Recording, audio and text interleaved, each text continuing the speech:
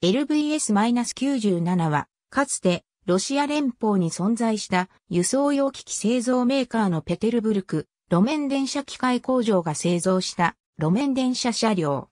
71から147という形式番号も有する。1997年から製造が行われた型運転台の2車体連接車。従来ペテルブルク路面電車機械工場で量産されていた連接車の LVS-86 とは構造が異なり、中間部のボギー台車が車体間ではなく先頭車体に設置されているのが特徴である。そのため車体ごとに全長が異なっており、先頭車体は13メートル、後方車体は9メートルである。双方の車体間には貫通路が設置され、ゴム吹き地の蛇腹状のホロによって覆われている。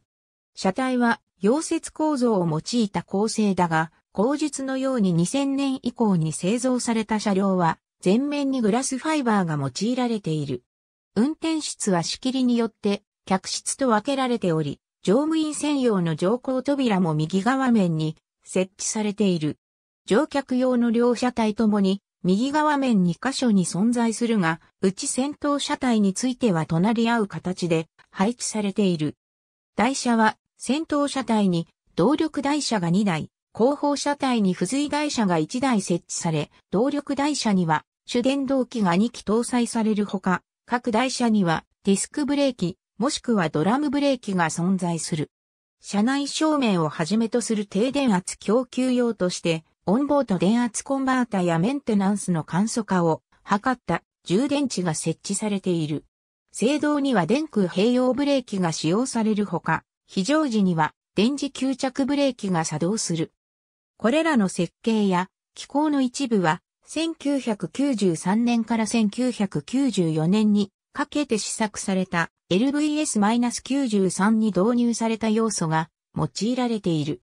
LVS-97 は1997年から2004年にかけて50両が製造され、サンクトペテルブルクをはじめとするロシア連邦の各都市に導入された。製造過程で座席や窓の配置をはじめとした設計変更が行われ、特に2000年以降に製造された車両は全面デザインが代わりグラスファイバーが用いられるようになったほか、2001年からは乗降扉の形状や先頭車体の扉配置も変更された。